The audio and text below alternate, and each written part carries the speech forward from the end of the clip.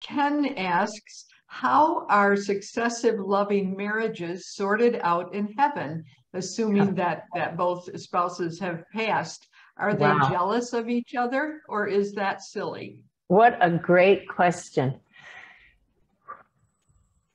So I have to ask the guides this one because I don't, I've never heard it and I don't know the answer. So the guides say you were just talking about souls. Most are immediately aware that they have been playing roles and they all recognize, you all recognize yourselves as souls. And as such, there is no ownership, there's no jealousy, there is simply the merging of love. Totally different kinds of relationships.